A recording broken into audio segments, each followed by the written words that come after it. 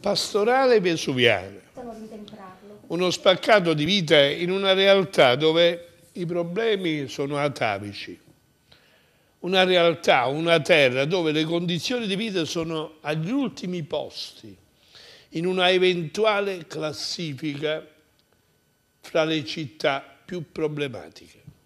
I vicoli, i bassi, le strade, le bande di ragazzi raccontati da Tonino Scala nel suo libro Pastorale Vesuviana diventano un quadro variopinto dove i colori rappresentano le emozioni, le vicende, le storie di famiglie e di uomini, donne e ragazzi avvolti, avvinghiati da un destino che sembra ineluttabile e purtroppo senza una soluzione positiva.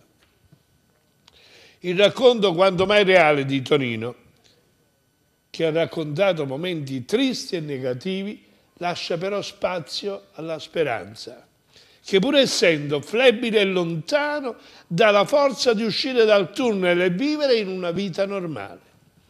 Tonino è interprete scrittore e protagonista di una vita vissuta in un quartiere di Castellammare, degradato, abbandonato, dimenticato. Ma è lui medesimo l'esempio di chi riesce a sollevarsi e dare speranza ai tanti che purtroppo per vivere devono combattere.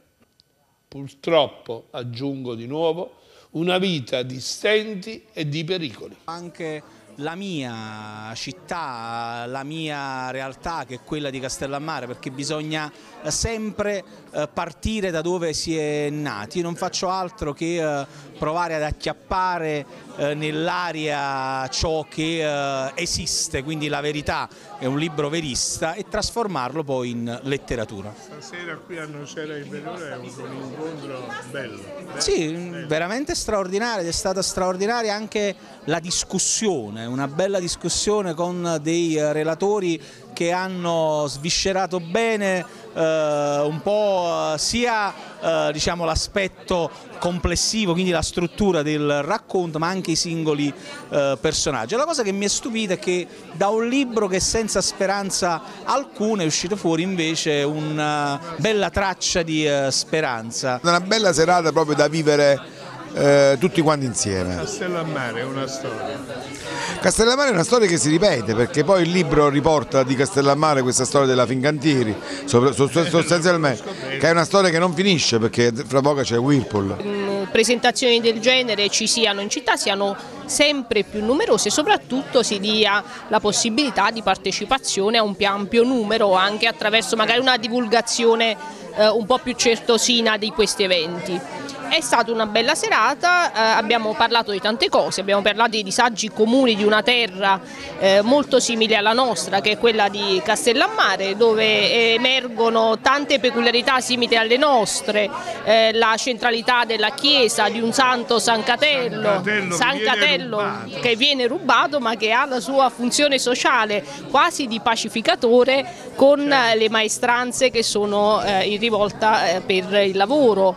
Eh, ci sono le storie della, del disagio, del disagio personale, ci sono delle storie drammatiche all'interno di questo libro che, ripeto, fotografano una realtà molto vicina alla nostra che accomuna i luoghi di Castellammare anche con le realtà dell'agro nocerino sarnesco. È il nuovo spazio che abbiamo aperto circa tre mesi fa perché crediamo nel territorio, è uno spazio dove si fanno relazioni, dove si fa network, si fa un network reale non è il solito social network, non è la, il digitale, è un network vero e proprio, fatto di persone reali che si incontrano e creano, eh, costruiscono progetti, immaginano futuri diversi e fanno tanto l'uno per l'altro. Siamo a Lezco e siamo in una start-up innovativa di questi due giovani che vanno secondo me incentivati e promozionati, che sono Lucia Orsini e Lorenzo Petti, che hanno creato un co-working, cioè un luogo, uno spazio che può essere utilizzato organizzato,